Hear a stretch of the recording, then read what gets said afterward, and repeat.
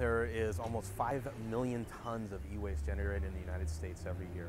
Uh, over 3.5 million tons of that ends up in our landfills. Uh, so a very small percentage of that is actually being recycled.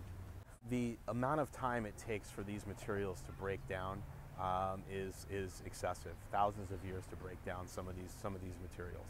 Uh, there's a lot of heavy lead that is included, uh, heavy metals, excuse me, that are included uh, in the, the manufacturing of electronics. Um, lead, mercury, mercury, uh, cadmium, um, things that are really toxic to the environment.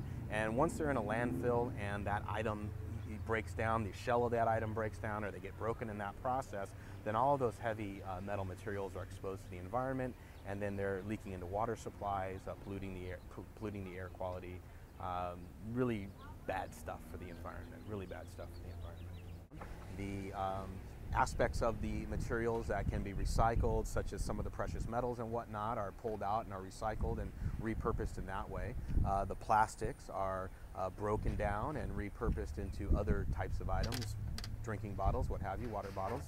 Um, some of the items will actually still be usable and those will be refurbished, data will be cleared off, and then they'll be sold through secondary markets.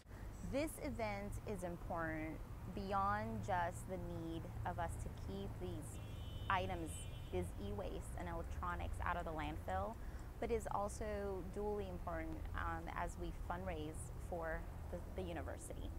Um, it is a great thing for the community to be involved in so that we can allow um, neighbors and, and friends and family students on the campus to have a place to actually drop off these of items. Hopefully, as we continue to do this year after year, we will hopefully be ingrained in the community's minds that we will continue to have these events and then as they accumulate stuff, they will go ahead and remember that this event will be coming around and then they will drop off with us.